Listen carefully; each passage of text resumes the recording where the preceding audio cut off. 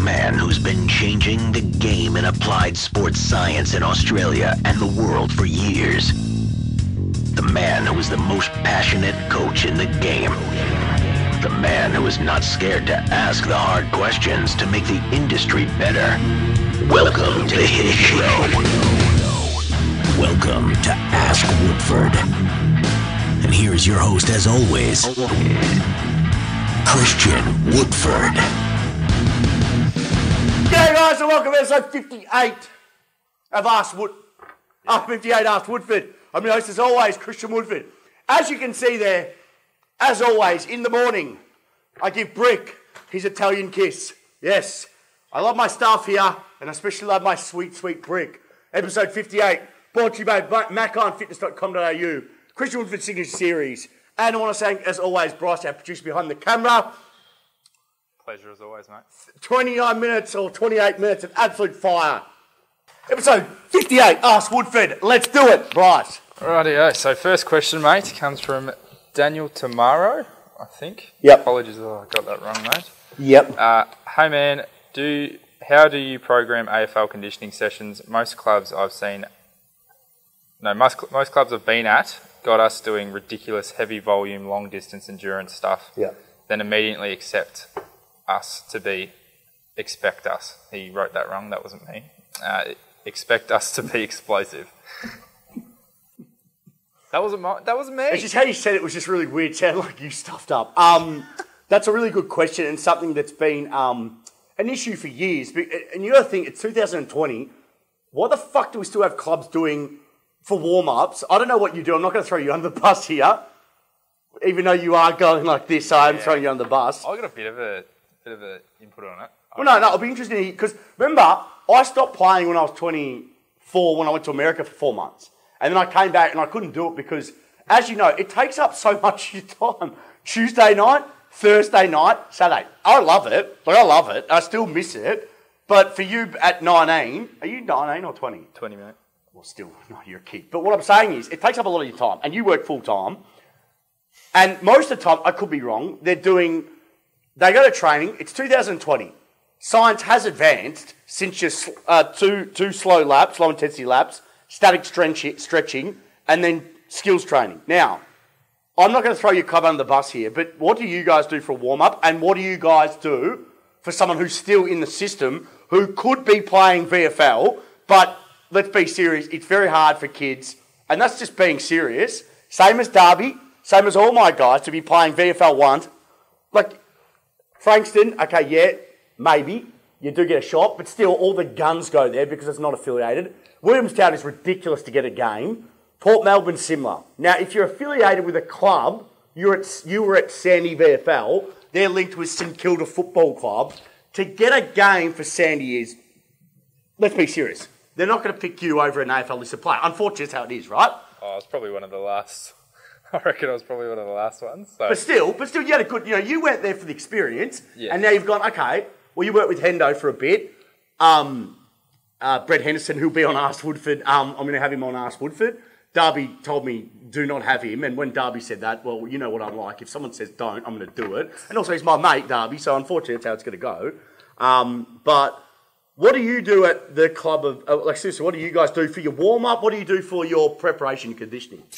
Uh, yeah, wh- where we get to training, we've got we've actually got an S&C bloke that You have a what S and C guy? Yeah. Jesus, so the like the club. What leg you? What on that, leg are you? So just so everyone knows, Uh, Mornington Peninsula. is that Div One? Uh, nah, not yet. Huh? Not yet. You're not Div One, and you got an S&C coach. Pretty good. Yeah, so the club invests in that, which is really good. Um, it's good to see when clubs do do that because it What- just shows the care for the players. Well, yeah, it's very true. Um, but yeah, we run through like 15, 20 minutes of sort of warming up, sort of Shit. static stuff. Um, Oh, you still do static stuff? we do pretty much a range of everything, Yeah. mobility, everything Yeah. like that, which is really, I find it really good. Um, Yeah. I just can't stand when sort of, I've got a big opinion on sort of the, the pre-seasons and everything like that for football. What's your opinion on pre-seasons? At local level, they're expecting, like some clubs, obviously it depends what level the league's at, Yeah. but you've got blokes that are coming up that barely train, barely go to gym, barely take care of their body, Yeah. that they're expecting to come up and do three sessions a week that are going for four Ks. Very good. like okay, here's my opinion that. on that, right? So right now, what's going to happen, just for everyone out there, It's going to happen in the AFL. Notice how the AFL is pushing preseason back further and further. What's going to happen with the AFLPA? It, all the players are going to come back. It's, it's going to happen in it, very soon. AFL players are going to come back in January. The whole fucking pre-Christmas thing is stupid. And then amateur teams are all going to follow suit because if the AFL does it, everyone should do it, right? My take on it's been this. Yes, you should train. Yes, you should put, in prep work. The only reason why you do pre-Christmas training, do you want to know the only reason is pretty much team camaraderie, team bonding. That's it. Yeah. No reason other than that. Yes, you should have structured strength, power, physical prep sessions. Yes, you should be doing some sort of skill work. But coming back pre pre Christmas is stupid, in my opinion. We have pre seasons that are way too long. If you look at the NFL, which is pure alactic, alactic, alac- ATPPC, which is anaerobic, aerobic, um, they do eight week pre seasons. We do six months. It is ridiculous. By the time, why the fuck then are AFL players still sore after fucking round one? Why? They do a six month pre season. Too long, burnout's too much, got to come back in January. Same thing with the amateur players, right? This kid asked me, what do I think of the um, uh, uh, conditioning sessions? A, it's not really my area. If I looked at my area, I'm pure, my special, my area, I believe, which I like, is what neuromuscular. It is um, athlete development, strength, power, speed.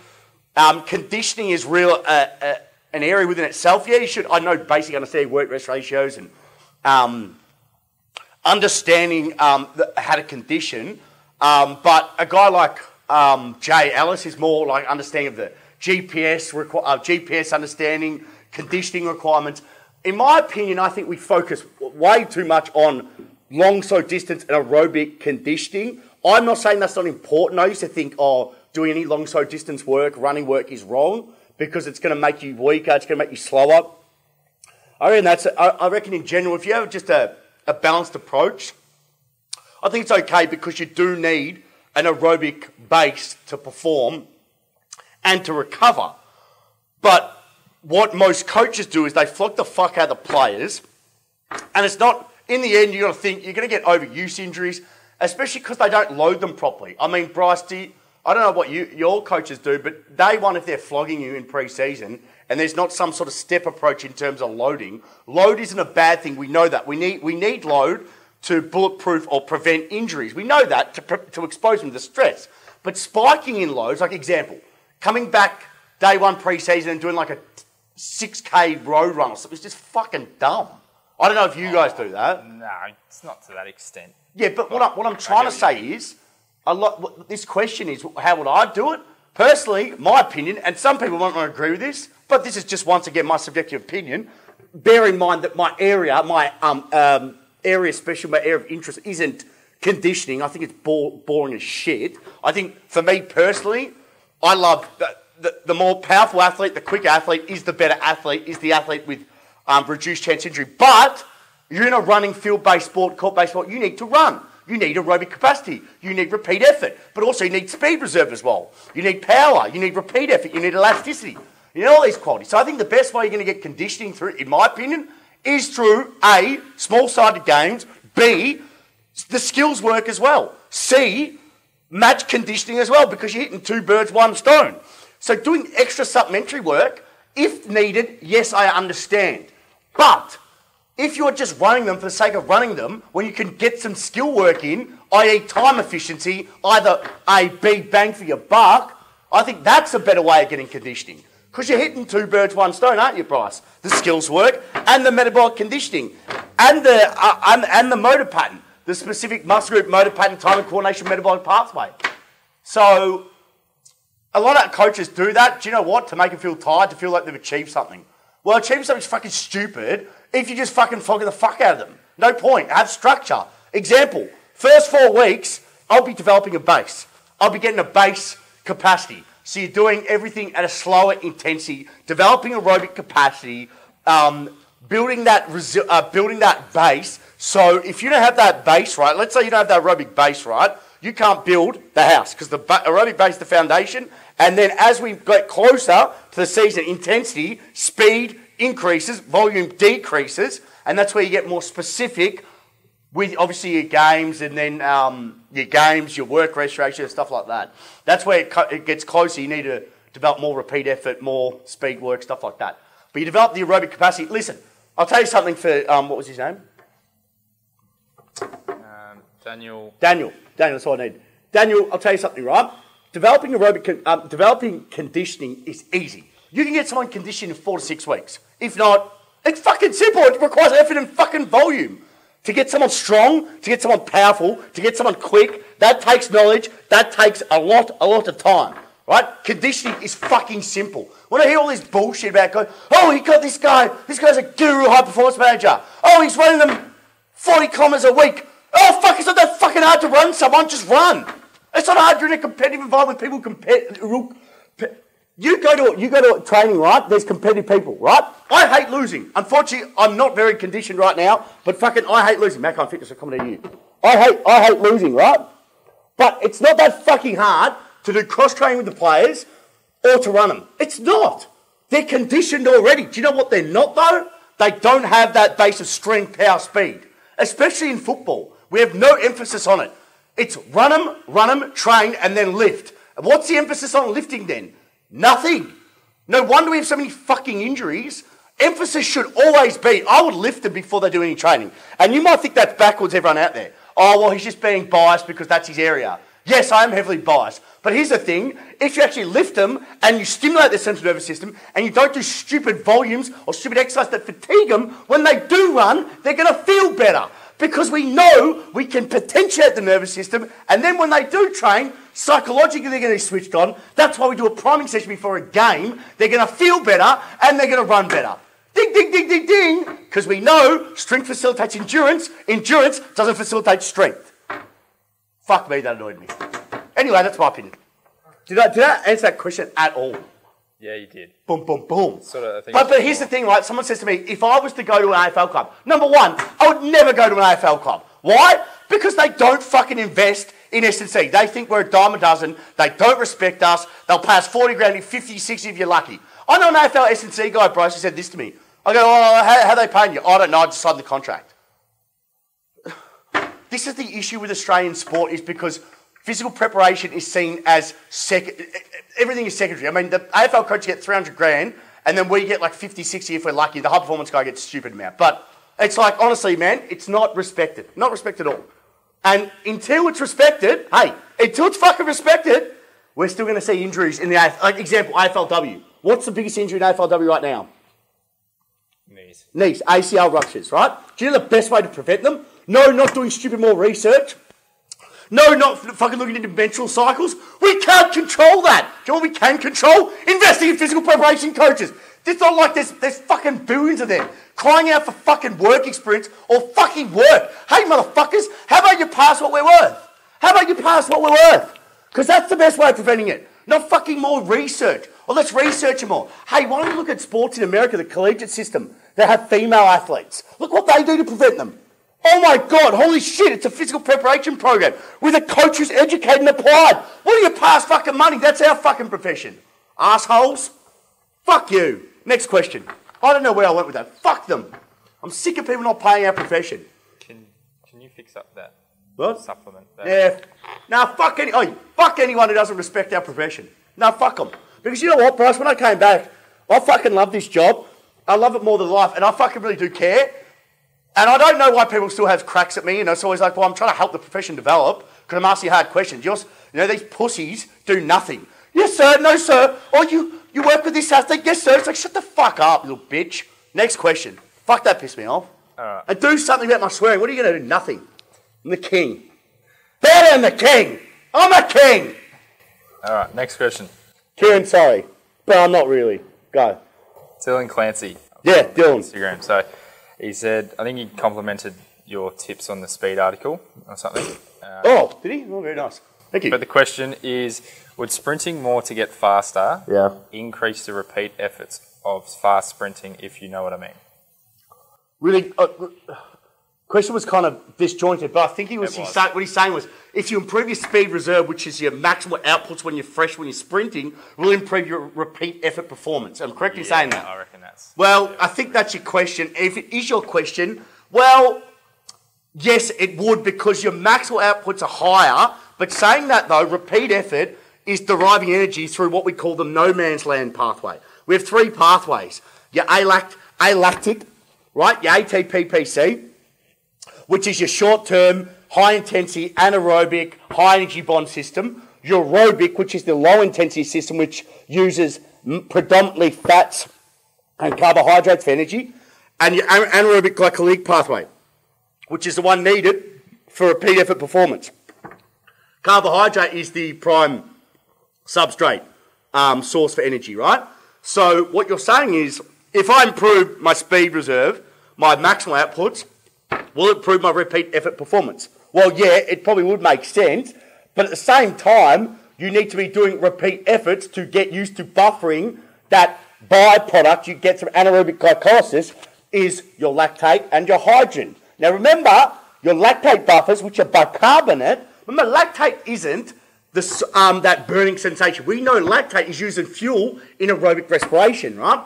What, what is that burning sensation is the hydrogen ions. And what happens when lactate accumulation overtakes lactate removal, the muscle becomes acidic. It inhibits nerve conduction, and that's where we get the burning sensation. Not the lactate in the blood, which is used as a fuel source. You need to be training in that pathway, and you're going to get it when you play football anyway, because it is a repeat effort sport. So this is why I say the bucket you need. Your job as a performance coach is to fill the buckets up they don't get in their sport. What is the what is what is the bucket they don't fill up? Speed, power, max strength. Those don't fill them up. The minute you fill those neuromuscular markers up, trust me, you're going to get better at everything. As long as you're integrating it with the skill and developing the motor skills like jumping, landing, which is force absorption, acceleration, deceleration, force absorption, change direction. It's a skill. The more times you do it, the better you get at it. Okay, you have to fill up those buckets. Have to fill those buckets up.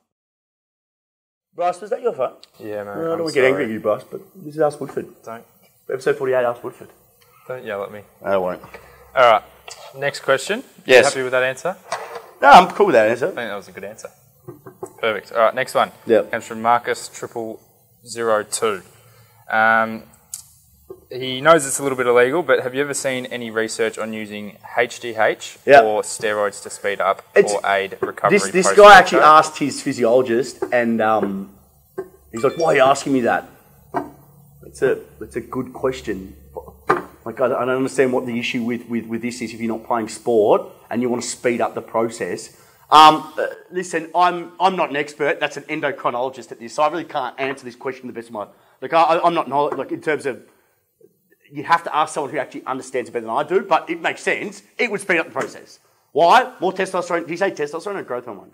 Uh, I'm not sure. You just wrote using HGH or steroids. Well, yeah, if I- yeah, it would it would speed up the process, obviously, because it, it's going to help with recovery. What it does. It makes sense, yeah. But I can't understand why he's, he, he- his trainer, whatever it was, said it was a stupid question. I. No, he said so. He's like after he asked that question, it said obviously in the competitive world it's against regulations. Correct. I'm just surprised I haven't seen anything overseas about it being used. he- Yeah, I, I, think don't know. I think he agrees with you, Eric. like it just makes sense that would, it would. yeah, of course it makes sense. Yeah, well, but once again, if you're playing sport and um, yeah, it just gives you give you an unfair advantage. Obviously, um, listen, if you're not playing sport, yeah, that's fine. Like you're not playing sport. I mean, but if you are, no. Use common sense. Common sense is not that common. Next question. This is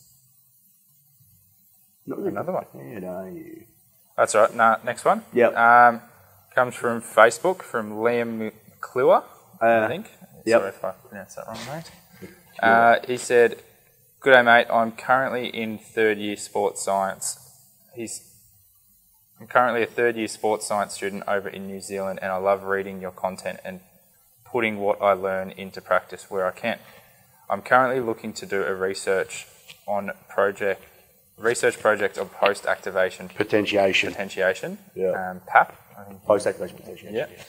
And I'm wondering if you've had any experience in this area and your opinion on it, if Oh, this benefits athletes in their results. very good question. And I just talked about priming before. So I talked about why I would do strength power training before I did any skill based training or conditioning based training. Similar to post activation potentiation. So now, for everyone out there, I'll explain post activation potentiation. It is, I used to think it's a neurological phenomenon. It's not apparently. Apparently, it's at the muscular level, but that's bullshit as well. Because, of course, it's going to be at the neurological level because the nervous system drives and controls skeletal muscle contraction. The muscles are a slave to the brain.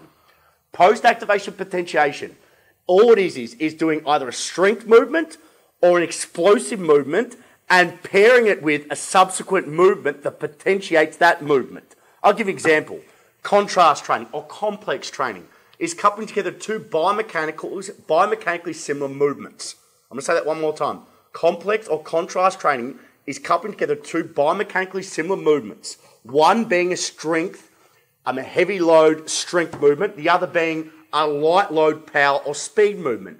Now, the idea here is the strength movement with anything over 80, 85% of 1RM, which is a heavy load, which the actual bar speed might be slow, but as long as the intent is to move the weight quickly, we're going to increase bone recruitment and enhance the training effect. That's where we're going to stimulate more the central nervous system and increase high threshold fast twitch motor unit recruitment and do so quickly, term neurological efficiency. The whole idea of post activation potentiation is recruiting those big, high threshold fast twitch motor units. Okay, we want to do that to stimulate more of our central nervous system. We rest between 30 to 60 seconds and then we do our subsequent similar biomechanical movement. Example, a squat or an unloaded counter movement, um, counter movement jump. A static, um, like it might be a squat from pins, a concentric squat from pins, to a, squat jump, which is literally the same biomechanical, bio, biomechanical movement, um, which is a static jump, which is a concentric only movement unloaded, so which is an explosive movement. Now, generally speaking, the difference between power and strength training lies in the load and the speed of movement. Also, exercise selected always want to be ones that project into free space. Why do we want that? Because with strength training, think of a bench press. With a bench press, we're pretty much decelerating straight, straight, straight away. So we're increasing antagonist, which is the opposite, opposite of agonist, which is a prime mover, co-activation. We're slowing down, we're decelerating the movement. How do we overcome deceleration? We project into free space. So it might be bench press, to bench press rows. Bench press to supine chest pass rows with a med ball. We're projecting in free space, maximizing speed and power. Now, going on to post activation potentiation. Complex training. A strength movement, we're potentiated. Rest 30 to 60 seconds. And then it might be something like an unloaded counter movement jump. We might do a, a heavy load prowler push into an unloaded sprint as you can see, the neurological recruitment patterns are quite similar to each other. The pattern has to be similar to get the transference in terms of potentiation. It might be a squat to a sprint, it might be a bench press to a bench press throw, it might be a hip hinge to a broad jump. You can see what I've done there. The recruitment pattern is quite similar. The strength movement potentiates, and the speed movement takes advantage of that potentiation. I'll do it to throwing a wiffle ball, right? Or throwing a can of Coke. So the strength movement potentiates the nervous system and it tricks the nervous system into thinking that can of Coke is a full can of Coke. Instead, it's only half full. So because it's lighter and you feel it, you're going to throw it further because it tricks your nervous system because it still thinks it's a heavy Coke can when it's not. It's half empty. And that's the, that's the um, uh, how you can think of what post-activation potentiation and post-activation potentiation is. Most people used to think, or research used to think it was a neurological phenomenon. What I'm saying by that is it was mediated by neurological mechanisms. Now they're saying it's mediated by muscular mechanisms at the muscular level. I think it's to do with the calcium release from the, cal- calcium release down the T tubules and connects onto the um, uh, actomyosin crossbridge for crossbridge cycling. Pretty much what it's saying is, to, in layman's terms, it's what's happening is you get a greater release of calcium and calcium helps with cross-bridge cycling, which helps with force output, right? What it's saying, it's something to do with that. Now, my area is not physiology, my area is not at the muscular level, mine's at my neurological level. I like to think that it's still a neurological phenomenon because you're stimulating the central nervous system to a high degree. How do we best stimulate the central nervous system to maximize fast twitch motor recruitment? There's three ways. Heavy load, low repetition, traditional strength training, max force training, max strength training. Sub-maximal load, lifted explosively, right? So there's power training. Or um, uh, body weight um, move quickly, like sprint work. So power or speed work. And the third way, which is the most inefficient, sub-maximal loads lifted to failure. The reason why it's most inefficient, that's traditional bodybuilding training, is because you're recruiting those motor units at, a, at those high threshold motor units very, very slowly. The whole idea is to recruit them high threshold fast twitch motor units and do so quickly. So it makes sense either a strength, power, or speed movement facilitates, potentiates, and then we take advantage with a similar biomechanical movement. But it has been shown not to be as effective with highly trained athletes. What that's saying to me is highly trained athletes have a highly trained central nervous system and they, recruit, they can recruit high levels of motor units quickly. So a novice and an intermediate is less trained, larger window adaptation. Highly trained individual, not much window adaptation, have to have a high, high training stimulus and have to have a really specific training stimulus to get the transference of effect. But it's a good training tool you can use. Contrast training, complex training, French contrast training, where you actually do four movements, different loading parameters. I don't have enough time to go into it right now, but post-activation potentiation is the time-efficient way to train the entire force velocity curve and surf the curve. Maximize force, shift the curve to the right where greater force is produced over shorter time periods. And that's the whole goal of sport and sports performance. Increase explosive force generating capacity. That is episode 58. Short and sharp, concise, like usual. Good work, Woodford. I just gave myself an okay there, Pricey. Hopefully you enjoyed this episode of 58. It was on fire. I'm on today. I'm switched on. Thanks as always, Bryce. Our sponsors, MacIFitness.com.au, the best in the fucking game. Christian Wood Fitness Signature Series. It is going out the door. Creatine and carbohydrate. We're going to add another one very, very soon. Look out for that. Thanks very much, Bryce. Episode 58, Ask Woodford. I'll see you next week. Episode 59. I'm Christian Woodford, and this has been Ask Woodford.